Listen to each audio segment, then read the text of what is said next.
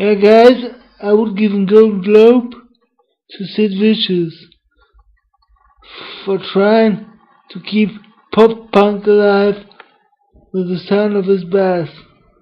So, never mind. Goodbye. I mean, even if he's dead. I like punk. So, take care of yourself, guys. Goodbye.